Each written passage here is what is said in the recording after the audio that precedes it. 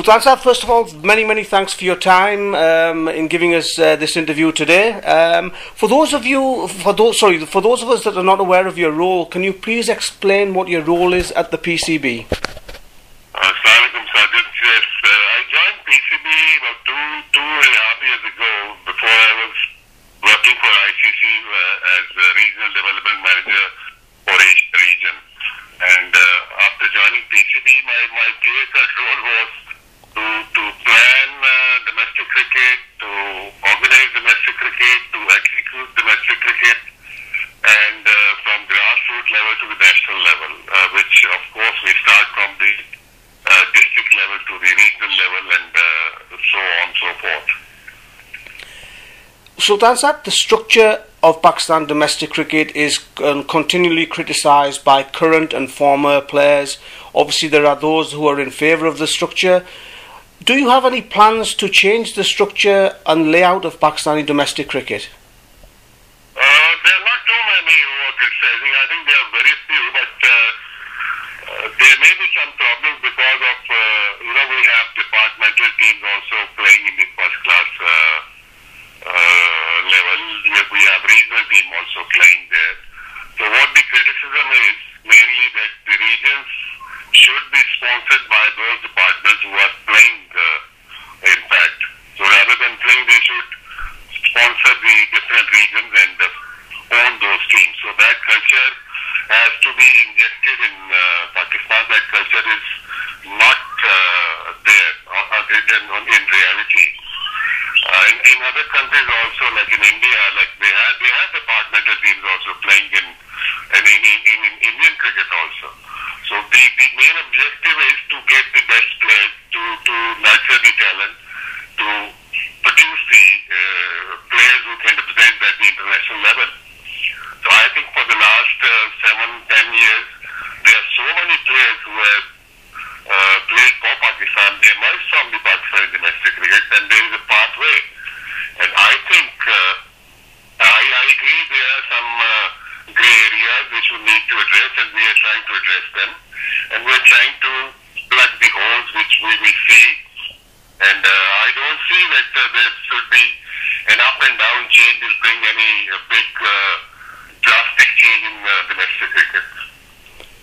Sultan Sahib, do you think that obviously with the structure as it, as it is at the moment, do you think that um, the uh, departmental teams have a distinct advantage over the regional teams, especially in terms of finances and the players that they can attract? Exactly, I think you're absolutely right. Departments, they what they do is they provide jobs to uh, good, promising budding cricketers, which uh, they lack. Uh, the regionals don't pay them. But what we're trying to do is we're trying to inject some money into the regional cricket as well.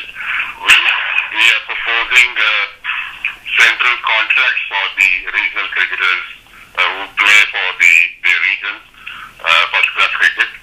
So yes, clearly there is, there is a big difference between departmental teams and regional teams. But what we are trying to do is to minimize that gap, which is a big gap.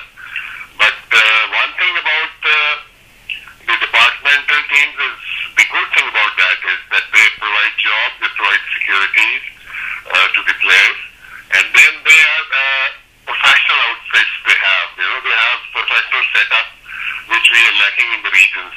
Like they have uh, full full fledged sports departments in uh, different uh, departments. Like uh, top teams, they have their own uh, uh, administrators. They have uh, full staff there running their uh, uh, sports, which we are lacking in uh, regions. And that is what we have proposed and what we are trying to do uh, from uh, next year onwards to have full-fledged uh, regional setup also to hire people, to have marketing people so they can uh, find sponsorships for the regions. Apart from PCB's uh, support, they should look towards non-PCB funding also. So we are trying to minimize this gap. But I agree, I've been product of the same system. I mean, I played for my college, then I played for my city, then I played universities, then I went to Habib Bank. I played there for nearly two decades. So, uh, Sultan Sahib, just to uh, clarify that point there, the way the current setup, setup is at the moment, you don't see any uh, imminent changes with regards to the structure of first class cricket. Uh, what we, as I said, it is not that easy just to disband everything overnight. Mm. It will take some time. PCB uh, trying to do is to make it more competitive. What, what ever since I, I have joined it, I have uh, uh, changed few things in domestic cricket. Now, what we did this season was to make it more competitive. We have made this uh, uh, Quaid-e-Azam Trophy, which is first class uh, cricket. We have uh, uh, now two divisions in that. So the top best team, 12 teams are playing in the division 1 and there are 10 teams that which are playing in the division 2. So we have tried to make it a little more competitive. Last year it was like one-sided affairs. Departmental teams were very good. Regional teams were not very good. But on top of that, two years ago, Karachi Cricket Association was the Quaid-e-Azam Trophy champion and the Sialkot region was the champion of the Quaid-e-Azam Trophy. They beat the departmental teams, Hmm. which are star-studded. So I think regional teams are coming up. What we need to do is we need to support them. We need to uh, guide them, which we are doing so. Yeah. Sultan Sahib, one of the um, the problems or one of the complaints from a number of first class cricketers that we speak to is the lack of preparation with regards to fixtures. You know, the announcement of tournaments and fixtures is quite uh, often left to the last minute. Why is it that the the uh, domestic uh, fixtures are not announced at the start of the season, like say, for example, they are in England? Yeah, I know, I know. Everywhere it is uh, done like that. But since for the last two, years, what's happening is there is, uh, since there are no international teams coming to Pakistan, so what happens is that suddenly from nowhere the tour of Pakistan team comes up, uh, apart from the FTP. So we need to readjust the uh, dates and venues and everything because most of the players then go to go with the Pakistan team. And then these things come up suddenly and then we have to uh, readjust our calendar. What we do is then we have to get the budget approval, we have to get the calendar structure approval. And now what we did last year was that we were got it approved, we, we uh, circulated it to, to all the stakeholders and that is what we are going to do this year as well. We are meeting next week to finalize everything and it will be circulated. I mean, and that's not an issue, that's not a big issue uh, regarding the uh, calendar of uh, uh, PCB because we organize about 750 matches and that's huge number. You know, we, we, we organize matches at the district level also and there are about uh, 192 matches for the under, at the under 19 levels and 192 matches at the senior levels. And that is I'm talking about the grassroots levels. Yeah. About 400 matches, 400 plus matches are played and organized at the district level, at the PCB itself. We only have 120 first class matches, which is, I mean, if you divide it in, uh, in players, so each player who gets, who let's say is part of the best team, which goes on to play the Pentangular Cup as well, he only plays 15 to, uh, 14 to 15 first class matches. Yeah. If you if you look at this from that angle, so each player is getting about 25, 30 innings in one season, which is not a which is not a big deal.